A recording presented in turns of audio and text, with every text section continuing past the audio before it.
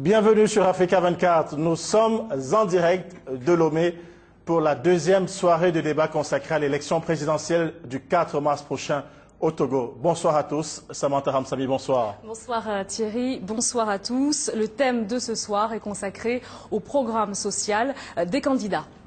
Face à face, dans la première partie de cette émission, Gilbert Bawara, ministre de la Coopération et du Développement, est l'un des porte-parole du président sortant, Fornia Simbe. Bonsoir, Monsieur Bawara. Bonsoir. À ma droite, Jean Kissi, secrétaire national du Comité d'action pour le renouveau qui soutient la candidature de Maître Yaovi Agboibo. Bonsoir, Monsieur Kissi. Bonsoir et bonsoir, chers téléspectateurs. Alors vous êtes euh, déjà très nombreux à nous suivre et n'oubliez pas que vous aussi vous pouvez poser vos questions. Euh, Il vous suffit euh, de nous envoyer un mail à l'adresse internet suivante togo 2010 africa24tv.com Thierry. Voilà, nous avons reçu déjà quelques messages et une question d'emblée qui est adressée aux représentants du RPT. Alors, Patrick Delomé nous écrit, il vous écrit, il veut savoir pour quel parti votre candidat se présente-t-il au juste aux élections. En tout cas, selon Patrick, ce parti ne semble pas être le RPT puisqu'on ne voit nulle part sur les affiches Fournia Sibé. Non, le président Fornia Singbe estime que on a besoin d'un parti politique comme socle de son action et d'une campagne électorale. Mais vous voyez, nous sortons d'un quinquennat au cours duquel il s'est efforcé de rassembler les Togolais, par-delà les divisions politiques, les clivages qui sont souvent artificiels. Il estime que l'histoire de notre pays, l'ampleur des missions que nous devons accomplir, l'ampleur des besoins et des aspirations des Togolais sont telles qu'il a besoin des Togolais qui, à la fois, sont au RPT et ne sont pas au RPT. Et quand on voit l'expérience des cinq années, la cohésion qu'il a ramenée au pays, le consensus politique et social qu'il a su instaurer, vous savez que pendant plus de 15 ans, il y a eu une multitude de dialogues qui n'ont jamais marché. Il est parvenu à le faire. Donc aujourd'hui, c'est le vrai candidat de consensus, le vrai candidat de cohésion. Donc il veut à la fois s'appuyer sur le RPT, mais aller à la rencontre de tous les Togolais qui ont des compétences, un savoir-faire et des expériences pour en mettre au service de notre pays et de la nation. Alors, deuxième question de Patrick euh, Delomé. Comment votre candidat Fornia qui n'arrive pas à réconcilier sa propre famille, pourrait-il réconcilier le peuple togolais après son élection? Yassimbe est d'abord un légaliste et un républicain. Euh, À ce titre, il veut que chacun respecte la loi. Les affaires de famille ne doivent pas prendre le dessus sur les affaires euh, de la République. Et ce qui se passe actuellement est une infraction à la loi qui a été constatée, qui est en train d'être euh, traitée par euh, les tribunaux. Donc, nous ne sommes pas dans une monarchie où les membres de la famille peuvent faire n'importe quoi. Donc, je veux qu'on sache euh, dissocier les affaires privées et de famille et les affaires de l'État qui imposent à chacun de respecter la loi. S'il ne peut pas faire respecter la loi aux membres de sa famille, il lui sera difficile d'afficher une fermeté, naturellement en étant magnanime, dans le respect de la loi par tous les autres citoyens. Dernière euh, question, elle nous vient du Mali. Djibril, qui habite Kidal, à 2000 km de Bamako, sa question la voici. Il demande si les candidats, en l'occurrence euh, chacun des candidats que vous représentez, ont l'intention d'honorer leurs promesses de campagne. Euh, Monsieur Kissi, je vous adresse sa question. Naturellement, le CAR a l'impression, a l'intention d'honorer ses promesses de campagne. Nous l'avons toujours fait. Chaque fois que nous avons été propulsés au devant de la scène politique au Togo, euh, ce que les Togolais souhaitent, ils l'ont eu. Euh, je crois que Maître Agboibor n'est plus à décrire euh, dans sa façon dont il a conduit le processus démocratique et dans la façon dont il a dirigé le dialogue intertogolais. Et le gouvernement qui a suivi, qu'on puisse pour la première fois avoir des élections sans violence dans ce pays, malgré les divergences et les attaques qui venaient de tous côtés, tout le monde sait que c'est un homme qui tient ses promesses. Et nous nous disons, le programme que nous avons pour ce pays, ce programme est tenable. Et à partir du moment où ce programme est tenable et que nous sommes en mesure de mobiliser tous les Togolais derrière le programme que nous avons, nous allons tenir nos promesses. Très bien, merci euh, Monsieur Kissi. Avant d'entrer euh, donc dans le vif du sujet, Thierry, euh, une piqûre de rappel. C'était lundi soir sur ce même plateau. Notre premier thème était consacré au déroulement de la campagne. En voici les temps forts.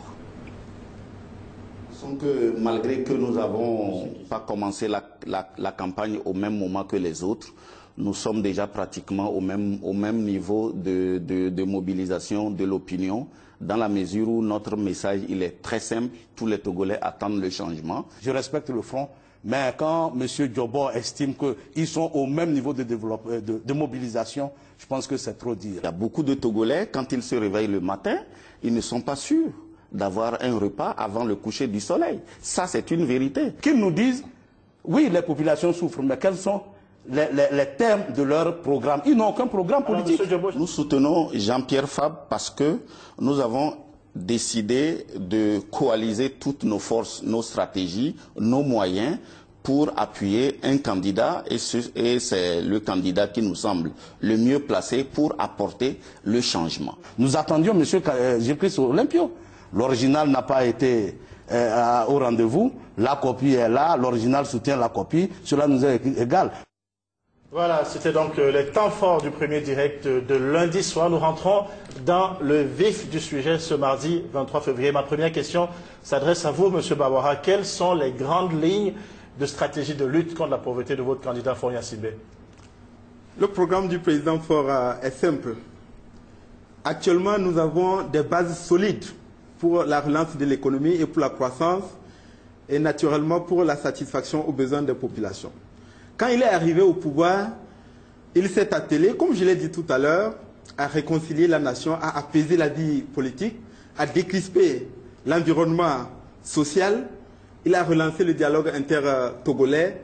Nous avons abouti à un accord politique global, à des élections législatives anticipées permettant la reprise de la coopération.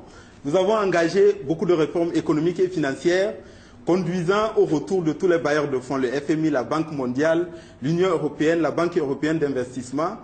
Et sur cette base-là, au mois de juin 2009, nous nous sommes accordés sur ce que l'on appelle le document de stratégie de réduction de la pauvreté. Et cela n'a pas été une production administrative, bureaucratique, d'un gouvernement qui s'est assis à Lomé pour le faire. Ça s'est réalisé à travers une approche participative, inclusive, à savoir que les organisations de la société civile, les ONG, les comités villageois de développement, les organisations syndicales, le secteur privé, les opérateurs économiques, les partenaires au développement ont contribué à la fois au diagnostic et à la, à la préconisation de propositions. Alors, M.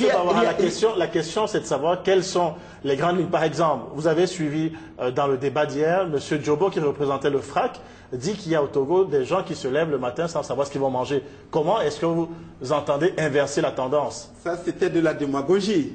Nous avons un programme national d'investissement agricole et de sécurité alimentaire qui a été adopté en ce même lieu le 4 février 2010. Et ce programme est de 617 milliards. Ce programme nous permet de renforcer la production agricole et de nous attaquer à deux piliers, à savoir la filière de conservation et de commercialisation et ensuite la maîtrise de l'eau. Depuis 2005 que le président Faure est au pouvoir, nous avons veillé dans un premier temps, en ayant constaté qu'il y a un déficit de production céréalière, à mettre à disposition des producteurs et des paysans suffisamment d'engrais et d'intrants, ainsi que les semences. Nous avons recruté des centaines d'encadreurs qui appuient et conseillent les producteurs pour savoir à quel moment il faut planter, à quel moment il faut mettre les engrais, de telle sorte que cette année, nous avons un excédent de production céréalière de 90 000 tonnes. Alors, donc quand quelqu'un comme euh, vient parler parce qu'il ne sait pas, on peut le comprendre parce qu'il est à et il ne sillonne pas le pays. Nous allons poursuivre ce programme-là donc avec, euh, en faisant en sorte que la filière de conservation, nous venons de lancer ce mois des appels à, candidats, euh, des appels d'offres pour recruter des entreprises, pour construire des magasins de stockage dans les 34 préfectures du pays. Alors, excusez-moi, monsieur Kissi, est-ce que toutes ces actions que M. Bawara décrit sont perceptibles? Non, ce que moi je voudrais dire, c'est que, et peut-être c'est la liaison, peut-être la gêne euh, que les gens trouvent à prendre le RPT, c'est parce que les 40 ans, aujourd'hui je sais 43 ans que le RPT a passé au pouvoir, on sait qu'aujourd'hui les Togolais ont de sérieuses difficultés. Le ministre doit reconnaître que c'est dur au Togo. C'est dur, c'est l'un des pays de la région où, vous avez raison, dans certaines maisons, les gens trouvent difficilement un repas par jour.